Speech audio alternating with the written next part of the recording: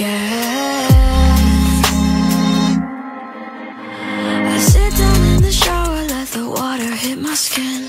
I try to wash these thoughts away, but oh, they always find a way back in Again. Please forgive my afternoon depression midday emotional concussion.